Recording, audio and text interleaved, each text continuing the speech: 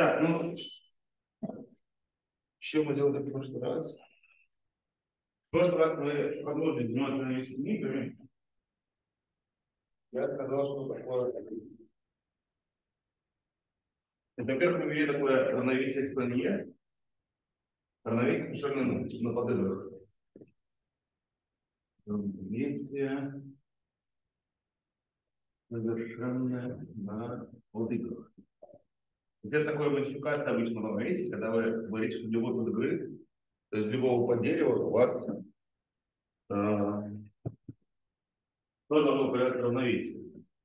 Потом я сказал, что вот если мы хотим полностью описать обычный то нам нужно вести так называемое информационное множество. Ну и мы можем уже моделировать игры неполной информацией. Неполной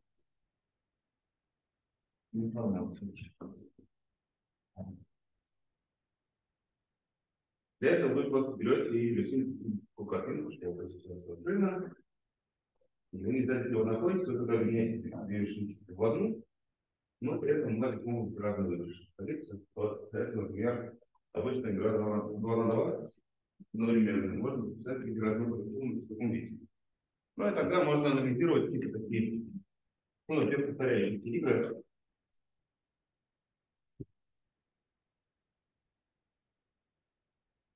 То есть, например, берем дерево заключен, да? И повторяем ее два, три раза, n раз, можно n раз, даже бесконечное число раз можно повторять.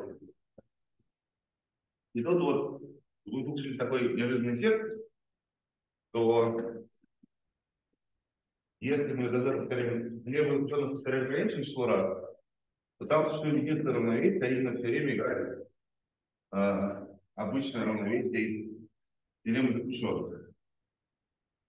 Э, ну, если мы рисуем вот такую матрицу, себе другому, себе другому, себе к миллиону, а другому по два.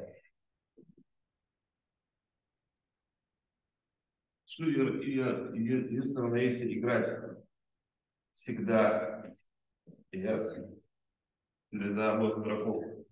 А вот если мы будем повторять бесконечное количество раз, то мы там формализовали так, что выигрыш это сумма ряда с дисконтом цены. Тогда существует такое Q, что э, существует равновесие. Ну, естественно, мы рассматриваем аспект равновесия. в котором реализуется игра, игра SD. То есть мы, в принципе, говорили, что ну, люди часто альтруисты, они часто играют стратегию отдать другому. И вот в бесконечной количестве игре существует все-таки такая стратегия, триггерная стратегия, при которой у нас есть равновесие совершенно на подыхах, при котором мы стратегия есть это такая стратегия, давайте напишу, это триггерная стратегия.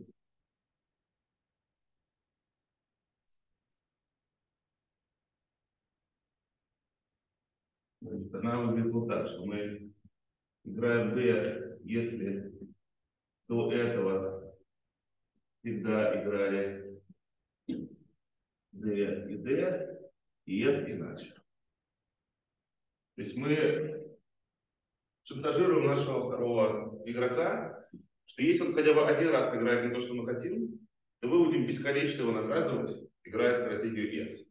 Ну давайте я здесь да, то есть у нас игра выглядит так, что вот у нас есть заключенных, и для каждого мы еще собираем миллион заключенных.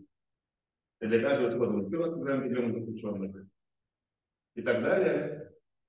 И выигрыш э, первого игрока от стратегии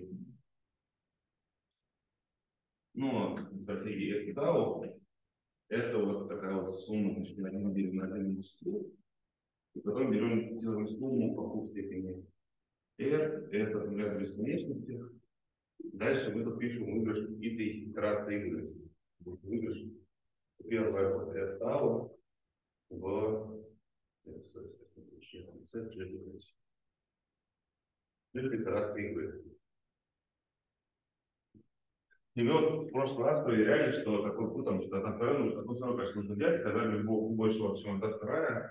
То есть если у вас э, достаточно большой дисконт, то есть наказание достаточно серьезное, тогда мы можем найти равновесие в бесконечном количестве заключенных, при котором игроки будут кооперироваться и играть время 2-2.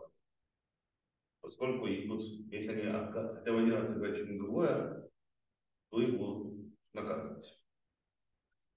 Но вот это положительное, как бы положительный результат, что мы смогли добиться того, что заключенных у нас а, играется то, что мы хотели. Но есть вот отрицательный результат, он заключается в том, что на самом деле, если вы берете бесконечную количество игру, то в ней э, очень много равновесий. А именно вы можете на самом деле добиться, вот итоговый платеж может быть любым числом между единицей и двойкой. То есть, в принципе, вы можете любое число, которое хотите, получить э, в качестве равновесия. Плюсы мы нашли формализацию, формализацию, где реализуется ТД минус такой формализации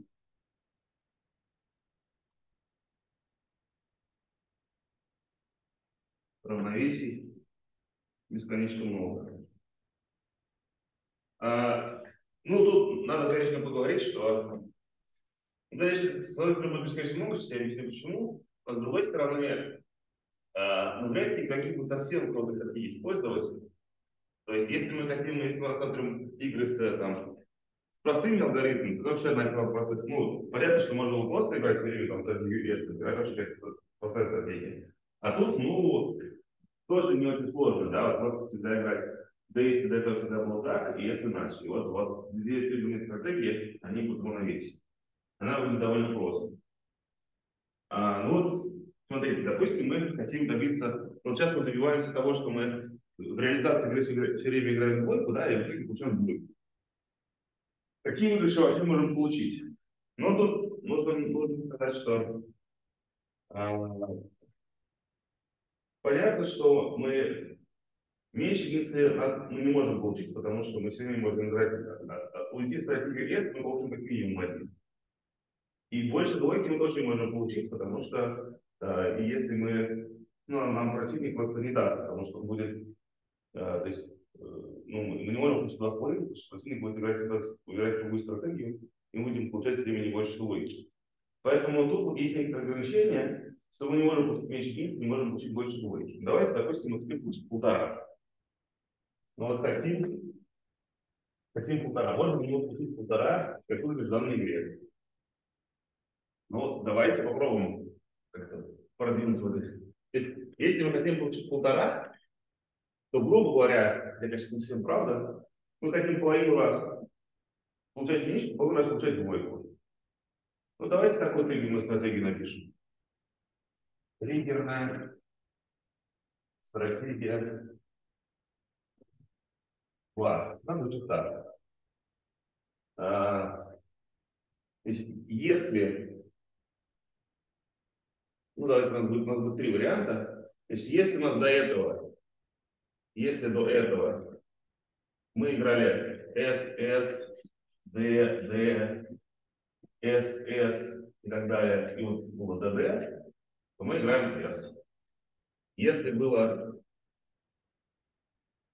э, было вот это чередующимся, чередующимся пары, и это заканчивается на S, то мы играем D. А иначе всегда играем D.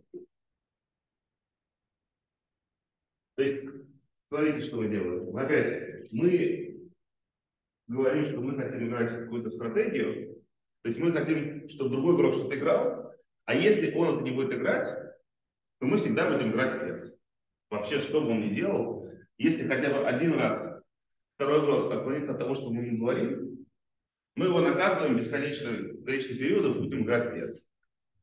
Но представьте себе, что у нас вот два игрока играют вот такую селективную стратегию квад.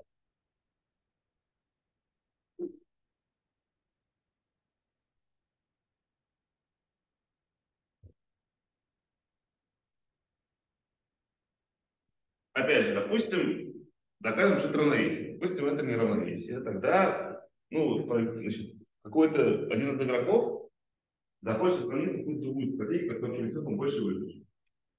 Допустим, у него есть другая стратегия сигнал. Ну, давайте предположим, что это второй игрок, он отклонился какой-то стратегию сигнал.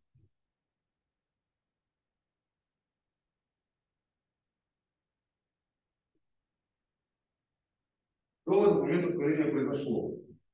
Значит, он либо э, ну, в какой-то момент он сыграл что-то другое, да, то есть у нас в какой-то момент он сыграл не вот S, S, D, D, что-то другое. То он мог сыграть.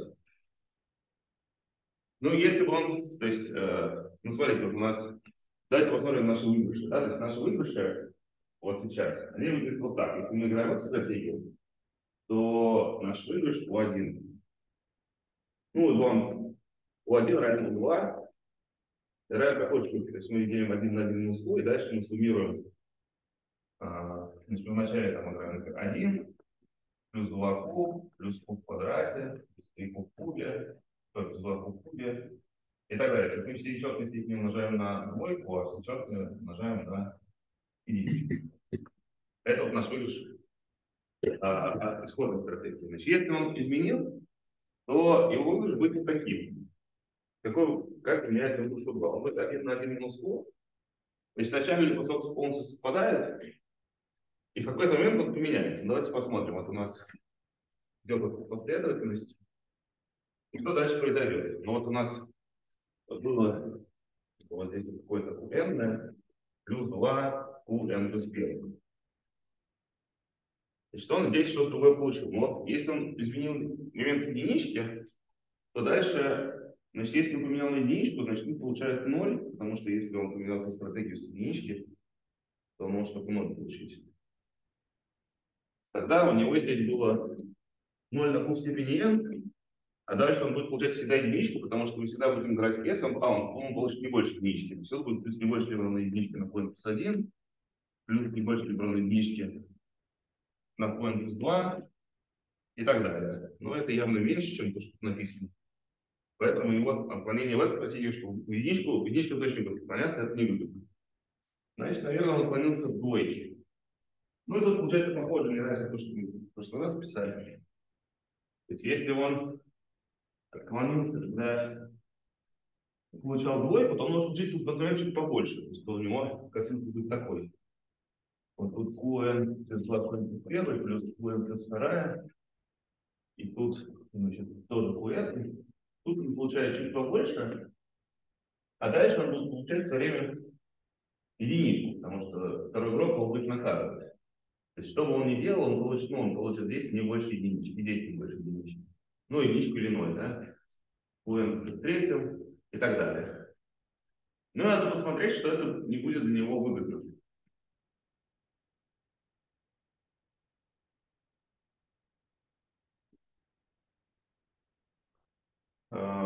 Ну, давайте посчитаем, вот я не знаю. Вот это будет волну у меня. Ну, это вот 2 от сигмы, это 2 от обычной стратегии. У 2 минус 2 с волной. Оно больше либо равно. Чего? Значит, у нас будет минус q плюс первых, минус q степени n плюс 1. Ну, или там, это будет четная степень, или нечетная степень. Давайте 2 напишем. 2 плюс 1. Будет, значит, тут примерно одинаково, и тут дальше будет как в четных степенях. То есть будет вот такое написано.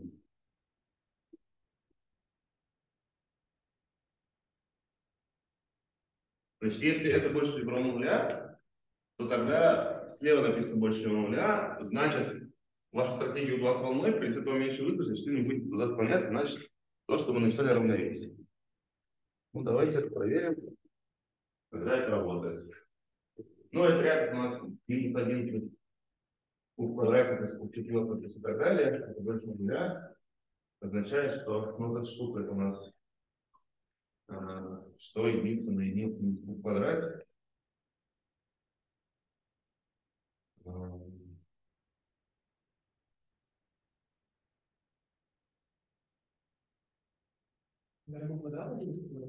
что? Да. Все должно быть больше одной единицы. То есть а, q в квадрате больше 1, чем 1 в квадрате, 2 q в квадрате больше 1 единицы, то есть q в квадрате больше 1, чем 1 второй. То есть 1 на корень двоечки. Правильно?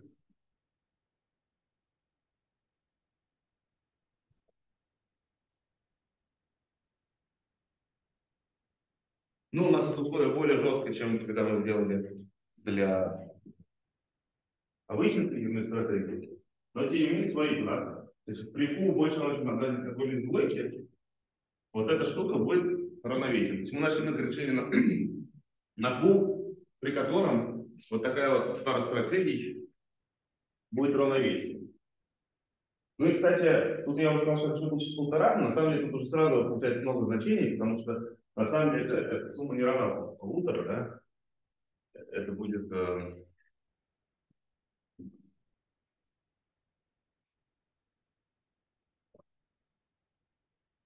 то есть эта штука равна, а, чему равна единичке, да?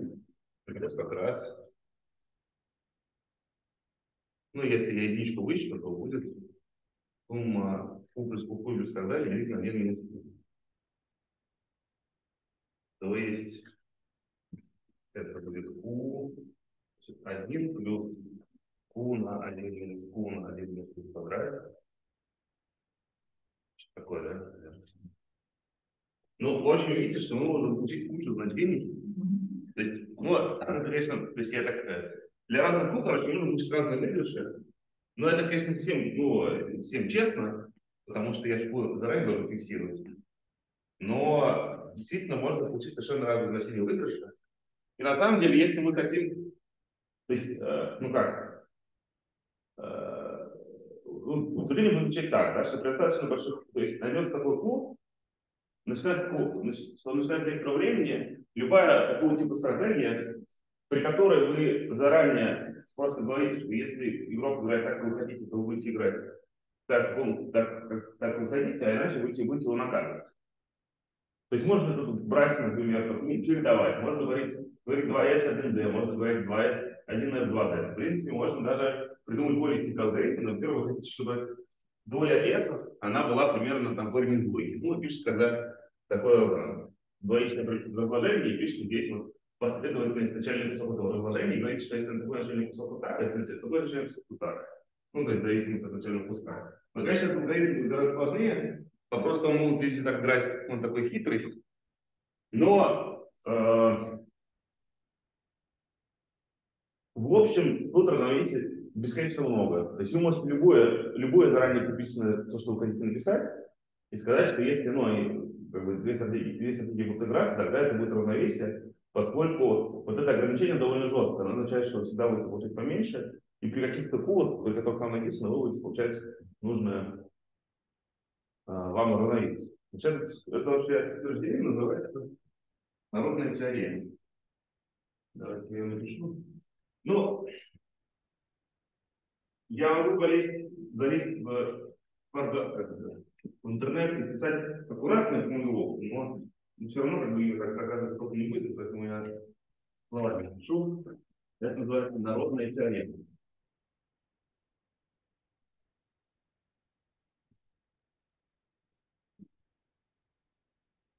Она звучит примерно так, что если у вас есть обычная игра, конечная, есть вот есть э, конечная игра. Ну, конечно, я имею в виду, что у вас количество стратегий у вас конечное. А, Ну и тут нужно сказать, что если у вас заданы какие-то э, минимальные, максимальные допустимые значения выигрыша, и значит, э, так, симулирую, потом придется сам посмотреть. Значит, э, и некоторый игрок. Э, ну, для и пусть МИТ и МИТ большое, это э, минимальное и максимальное минимальное и максимально допустимое значение выигрыша.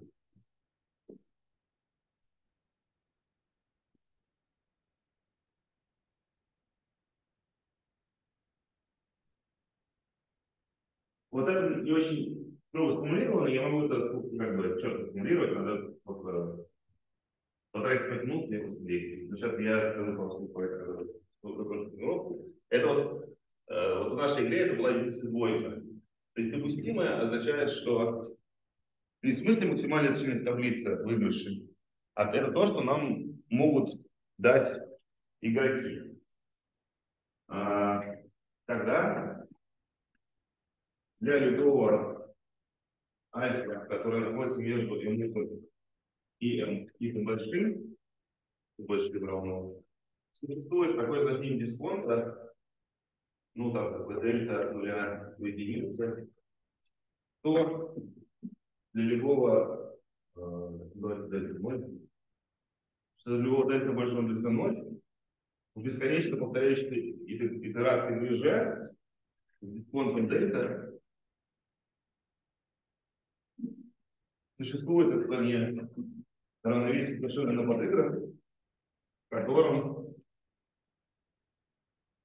и игрок получает выигрыш, выигрыш.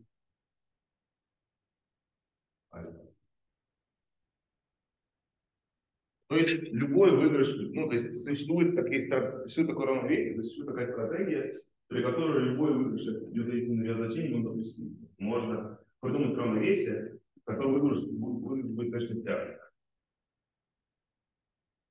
А, да, ну давайте скажу, что такое минимальное максимальное достижимое значение. Но это так называемый минимакс и максимин. То есть одно значит, это минимальный гарантированный вам выигрыш, то есть как бы вы как бы а,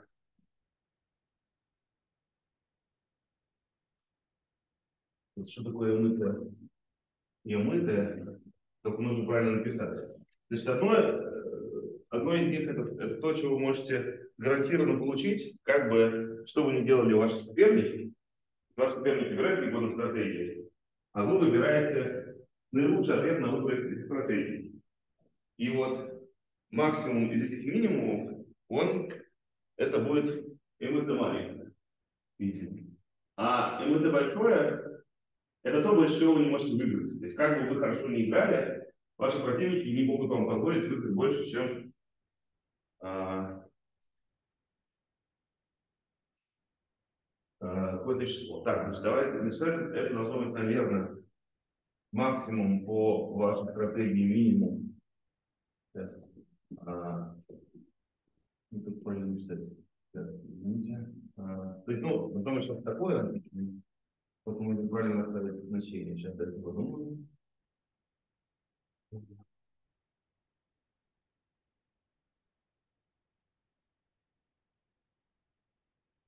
Наверное, наоборот? Да.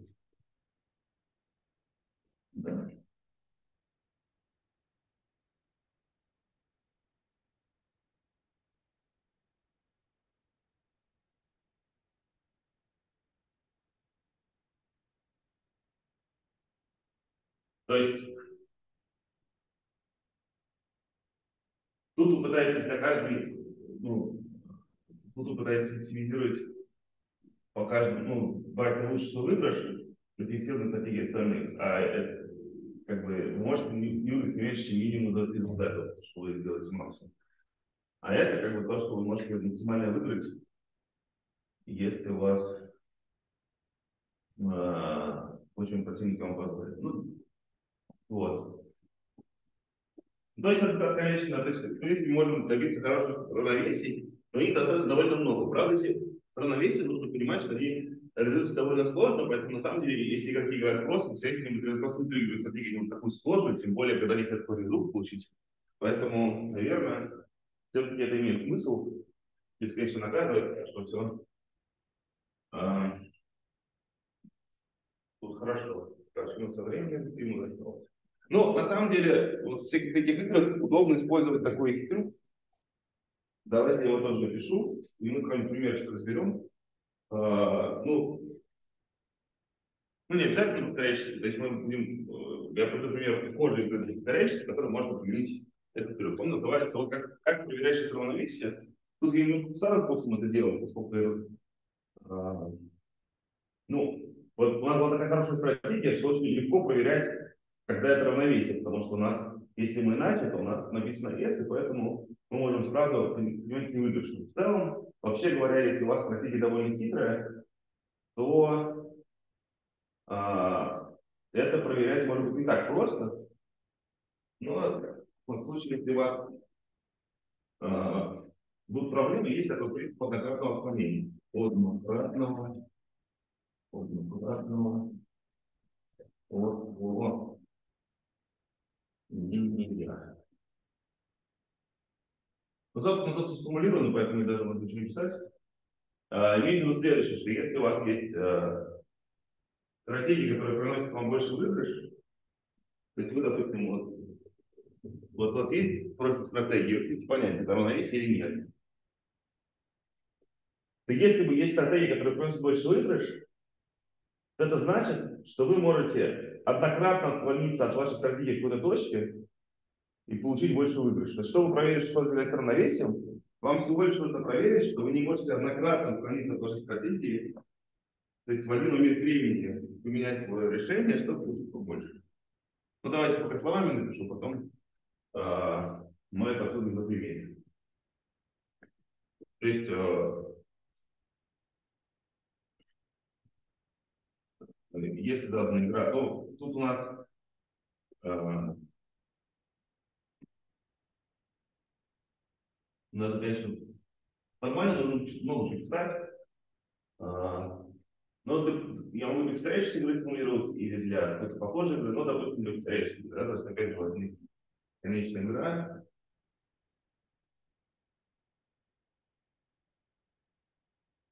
И вы хотите понять, является ли профиль сигма 1, сигма.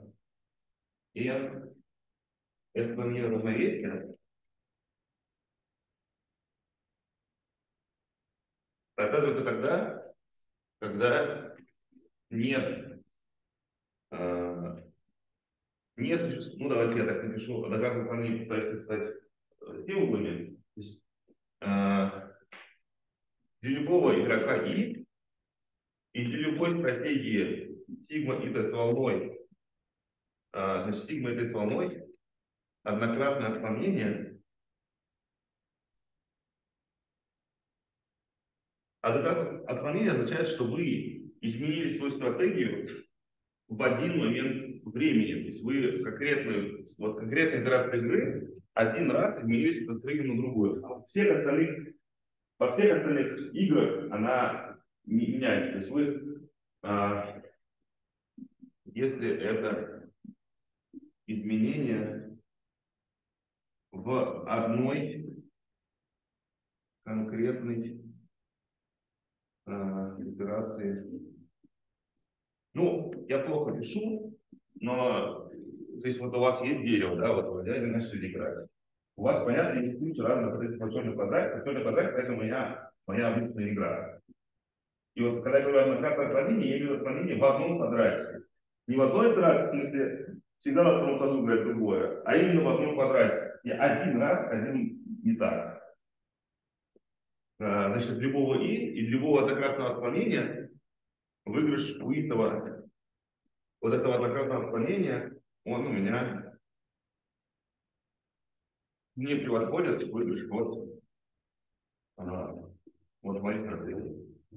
То есть, чтобы проверить что-то равновесие а, в, на первой исторической игре, ну или более общем случае вот, в играх, когда у вас есть а, там, бесконечное дерево, но при этом выигрыш так что ему можно посчитать, там есть тоже прогрессия, тогда у вас если вы до, до заката не можете добиться больше выигрыша, то вы и вообще не можете добиться больше. Вот. Так, ну все, у нас сейчас перерыв. Я еще раз формулирую в начале следующей, следующей лекции. И мы немножко это обсудим, там, какие примеры. И потом, если у нас время, перейдем к следующей.